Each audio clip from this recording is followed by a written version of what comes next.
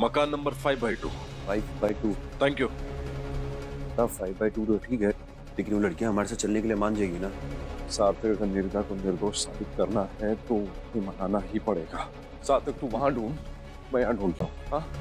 दादा आ, मकान नंबर पाँच बाई दो मुझे भी। कभी दादा। Five by to